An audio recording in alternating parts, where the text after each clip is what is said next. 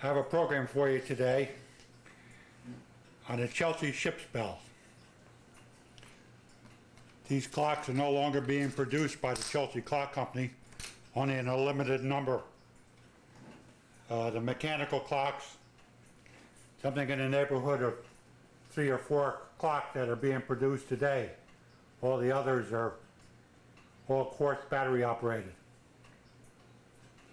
As you know, Chelsea has been the timekeepers of the seas for over a hundred years. The way the ship's bells work, and people are a little confused about the, the way they sound. The dial is broken up into 12, into three segments for the 12 hour period. It'll be at 12 o'clock, 4 o'clock, 8 o'clock. At 12.30, you get one bell. At 1 o'clock, you get two bells. 1.30, you get three bells. 2 o'clock, you get four bells. 2.30, five bells. 3 o'clock, six bells. 3, th- six, 3.30, seven bells. And 4 o'clock, eight bells. And then it's, the sequence starts back over again at 4.30, you get one bell. Now if you can refresh your memory, back in the old days in the movies, when you used to have the, the sailing ship movies, you always saw the sailor up on the crow's nest and he would holler down, eight bells and all is well, which meant that his shift was over and a new sailor would come on and he would start with the first bell. That's how the ship bells are sounded. Now what we're going to try to do today, we're going to disassemble this movement, clean it, reassemble it, and adjust it. Some of the adjustments in the Chelsea ship bells are a little tricky. They kind of confuse people, so maybe I can help clear some of that up a little bit. So we'll get started with this. I'll take the take some of the screws out and I'll take the movement out of the case.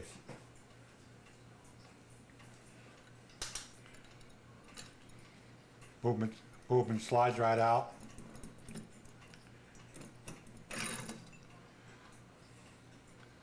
And as you can see, it's quite a, quite a nice movement.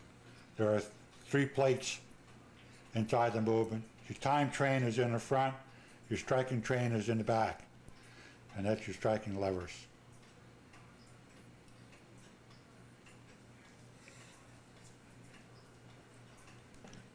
I'm going to try to keep my hands out of the way as much as possible.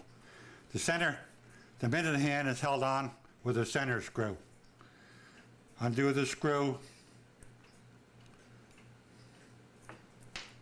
And we can take the minute hand off. I'll take it off altogether. Put them in a small container.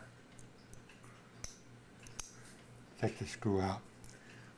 Now, hold the dial movement on. There are three screws that hold the dial on. I'll take the screws off and we'll take the dial off. Okay, I removed the three screws. Take the dial off. The hour hand and the hour wheel will come with the dial. Like so. Set that aside. Next thing I want to do is I'll let down the mainspring power. I don't think there's too much power left on this. Been pretty well run out. To need a service badly. Inside the movement, there's a click. It's on the ratchet wheel. Undo the click. Let the mainspring down carefully until there's no power left. Do the same thing on the time side. The click is inside the plate. Open the click and let the spring down carefully. Now the next thing I want to take off will be the platform escapement so I don't- we don't hurt anything. I'll take the two screws out and we'll take the platform off. I got the screws loosened up. Take them out, put them in the, in our tray.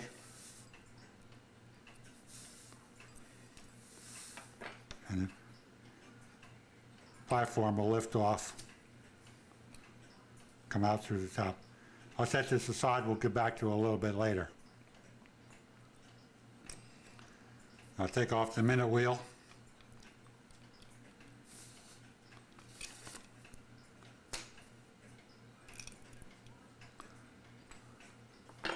And I'll pry off the cannon pinion. It's just friction tight. Just get underneath it, pry it up a little bit, and the cannon pinion will come off. Now I'll take the, I'll take the plate, the three screws out, and I'll get the mainspring out. Okay, I've removed the three screws. Put them in our bucket here. And I'll take off the mainspring plate. There's a set of clicks that's underneath the plate. Gonna put this all in the basket. And we're gonna clean it all up.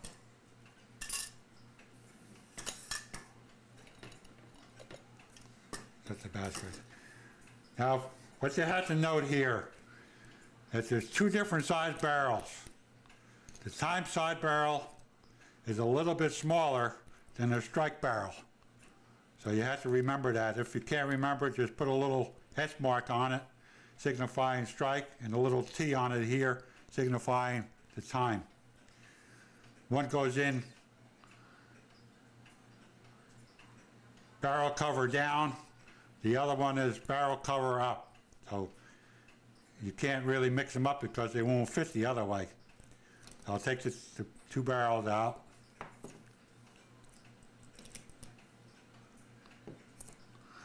Now what I like to do here, the Chelsea book tells you to take the time train out next.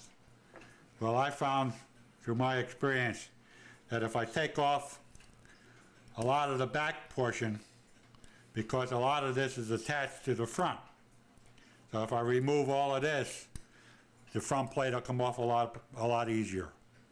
So I'll, I'll take all these clips off and I'll get rid of a lot of this mechanism in the back. Okay, I removed all the, all the locking washers. Now I can take off some of the parts that are here. I'll take off the hammer first. Take, it, take the dog off. Got a screw holding it. I'll take the rack off. Rack has got a little spring on the bottom, so be careful of that.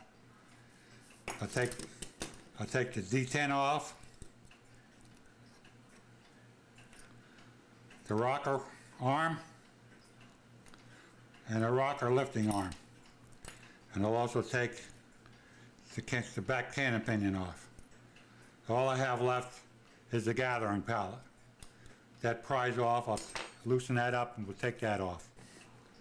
Okay, I've loosened, I've loosened the gathering pallet. Now we'll put these all in the, all in the basket, because I'm gonna, it's all has to be cleaned.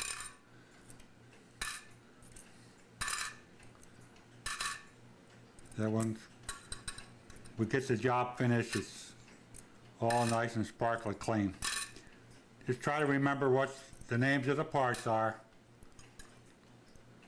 and where they go. There used to be a publication that Chelsea used to put out on the nomenclature of the clock. But I, I called them, I called them a couple weeks ago, and the young lady tells me that it's no longer available. Put these aside, I'll show you the publication, what it looks like. The Publication looks something like this here. In fact, this is, this is the one that Chelsea used to put out quite a few years ago. It was only a dollar, but she tells me it's no longer available because they haven't been printing it. This is the Model 4L movement, that's the one we're working on today. And it's the parts illustrated list.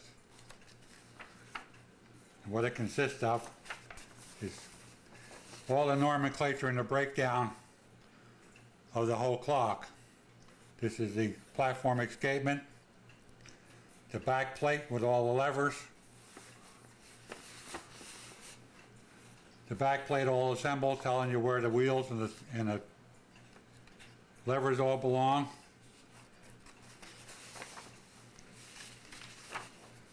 The time train, the strike train, the front plate with the regulator, the barrel assemblies. There's just two different barrels. You see in the picture, one is up and one is down, and your, and your plates. Now, what I, what I might do with this here, I, I just might make some copies up, and if people are interested in the Chelsea clock, I'd be, I'll be glad to give it to them just for what it cost me to have them printed up and mailed out. But that was put out by the Chelsea Clock Company quite a few years ago, which is not available anymore today.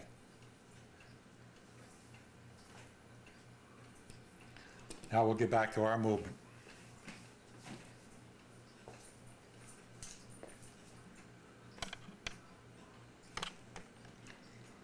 Now there are three, three screws here holding the time plate on. I'll take the screws off and we can remove the front plate. Okay, I've taken the screws out. I'll take a lift the plate off carefully. Sure we don't hurt anything. That's your, your silencer for when you want to shut the clock off. Put that in the basket. I can take out my center wheel and my second wheel. We'll clean them all up. My third wheel and my fourth wheel. I can see there's a lot of a lot of dirt and old gummy oil in there. Okay, now we have left we have the inner plate for this striking train. I'll take those screws off. Okay, I remove the screws. I'll take the warning lever out. Take the plate off. A little bit of dirt in there. And I'll take the striking train out. Take out the fly. Warning wheel with the pin in it. This is the count wheel with all the pins in it. First wheel. And this is our our wheel that carries the gathering pallet on the other side. So now we have everything all stripped down. We can clean it up, put it in the cleaning machine, put all the parts in the basket.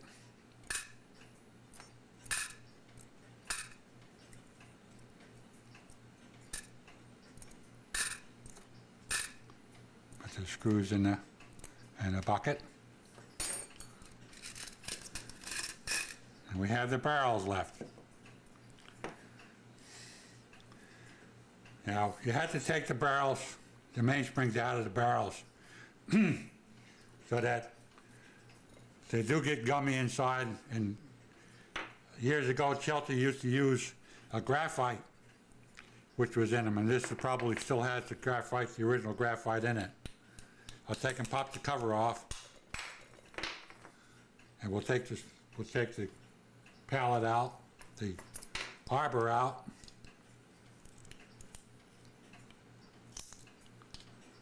See, there's, there's the graphite there, how black it is. Chelsea used that for many, many years. Now we, I don't use the graphite anymore, I use Mobil One motor oil. Now the way you get the spring out of here is just grab a hold of it with a pair of pliers. Just pull out a couple of curls and then slowly let it down. Don't let it fly away on you.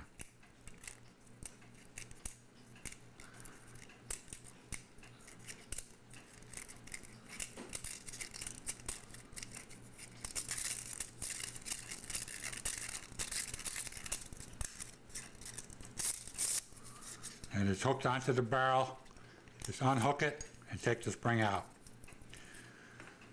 Now what I do with this, I take, I clean these. I take a, a cloth. I'll take a cloth with some benzene on it and I'll just take and I'll lace that on through like that and get rid of all that old oil and stuff that's on there. And then when I lubricated it, I'll do the same thing. I'll put some Mobil 1 oil onto the, the cloth and then I'll, I'll lace it in between with some Mobil 1 oil and that'll be enough oil on that spring to keep her lubricated. I'll do the other one and we can put this all in the cleaning machine and then I'll get to the platform for you. Okay, I've loosened up the stud screw. I'll take the bridge screw out. This happens to be a Breguet hairspring, so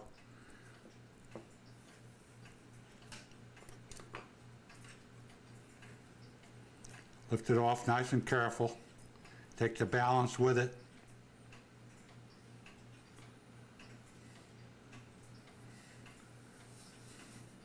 And with your, with your tweezer, you can take and just push that stud out of the stud hole. Just push it stud through and the balance will be separated from the balance bridge. And you have four screws here holding your, your pallet in and your escape wheel in. I'll take those off and take them out. Okay, I've taken the four screws out. I'll take the bridge off. And I'll take the escape wheel bridge off. This is my pallet. Be very careful of these parts. They're very small, very delicate. Can be broken very easily. And the escape wheel. We'll put these in my watch cleaning basket and we'll clean them up in the watch cleaning machine. Get them all cleaned up, we'll come back and we'll start putting it back together for you.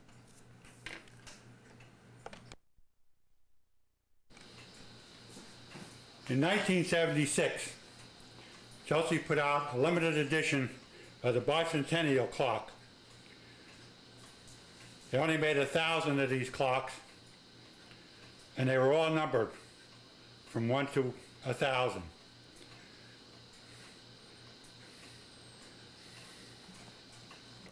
On the back of the clock was the number that Chelsea issued to each clock that they put out. This one happens to be number 297, bicentennial series. Quite a nice piece.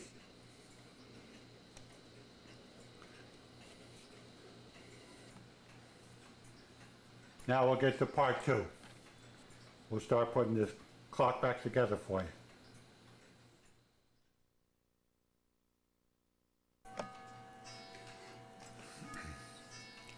Okay, we have our movement all cleaned. Starting to assemble it. One of the important things you want to watch here is to make sure your stop lever is up against your stop pin and your warning wheel is, is up at the top. Now I can put this plate on, put the middle plate on, and then I can put the other, the time train in. Okay, we have the middle plate on. What I like to do here, I put the time train in. This inner plate is a little difficult to get to the oil. So I like to oil it now when I, while it's still open and I can see the fuel holes. And like I've told you in past programs, don't over oil these clocks because there's too much oil will create too much dirt and you'll have all kinds of problems. Little bit of oil, there's half the oil sink in all of them.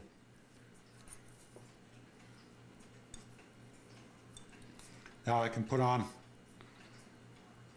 the upper plate. And then I can put the pivots in the holes. And we can start adjusting this clock.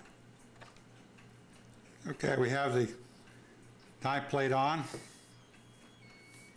Now we can, I'll oil these few pieces that are here. Put in our barrels. Remember the larger barrel? It's it's two size barrels. The larger barrel goes in the in the strike size.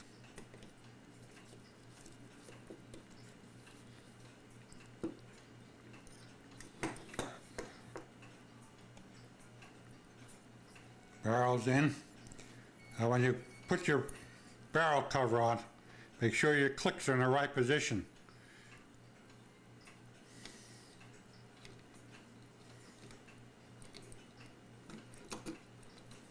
Set the clicks in, put a couple screws in there. Okay, I'll put a little power to it and I'll check and see that my warning went into warning, pre-trip. A little bit more. And she went into my first one count. So now when I put my levers on, that'll continue to, to strike. And we'll get to that in a second. Okay, now we're ready to put on our striking parts. First one I'll put on be the rocker. And the rocker activated, the lifter.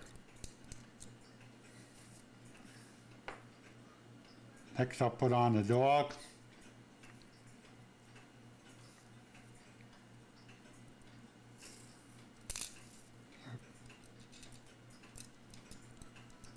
Hands out of your way again. Tighten the screws up. Put on the detent. Put on the rack. Rack has got a little spring on the bottom. Goes, engages in there. Put the hammer on. I'll put all the lock pins on before we put the rest on. And when your clock is at rest position and you install your gathering pallet, the gathering pallet pin should be at the 12 o'clock position so that you've got enough pickup on your rack. Okay? Now I'll put on the cam unit. On this cam unit, there's a there's a pin on the bottom. That acts as your subtractor for your rocker arm. That has to be in the correct position when you put it on. When your clock has struck the hour, puts the pin down at 6 o'clock position. 6 o'clock position when it comes up to the next quarter hour, it'll pick up the rocker arm assembly, put the rocker into motion, and then your subtractor will work. This is your subtractor. It comes up there, as your hammer is up, this, this will come up. It'll lock into position, and then subtract your, your last hour.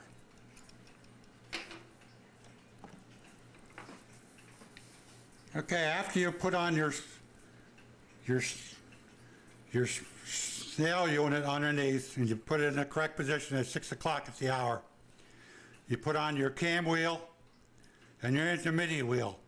Now, if you notice on these two wheels, there are some dimple marks. make sure you line up these two dimple marks exactly in the same line so that when your, your cam comes around, it's in the right position. Because that lines up with the pin underneath. And the way it works, I can show you here if I get my hands out of your way.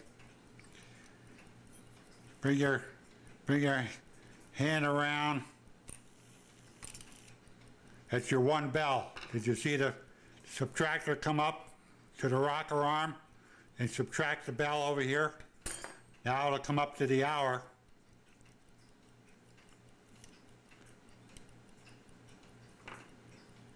The rocker will fall down and allow us to strike the even numbers. That's two. Come to 130. It strikes three. It subtracted number four. Comes back up to the hour. Struck the even numbers. Now we'll strike the odd number. Okay? You have to make sure that you have these two pieces lined up with the snail pin underneath at the bottom. That it picks up this racker, rocker and subtracts your odd number. Now I'll put on the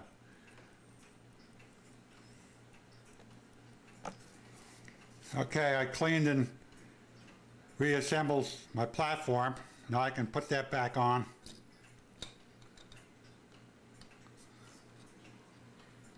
Put the rest of my pieces on. I'll put two screws in there. Okay, I got the platform all assembled. Put the adjusting regulator back on again. One thing you have to be careful here is when you put the hands on, make sure you put the hand on at 12 o'clock when it strikes. Otherwise your hand is going to be off. So make sure it's at the 12 o'clock position. And then send, then you can Okay, I put the movement in the case. I put the four screws in the back. I'll put on the inner bezel. It just snaps into position like so. Set it to the time. Seven, seven o'clock will be six bells.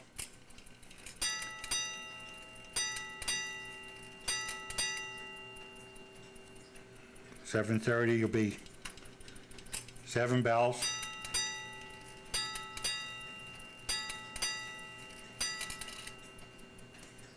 And eight o'clock will be eight bells.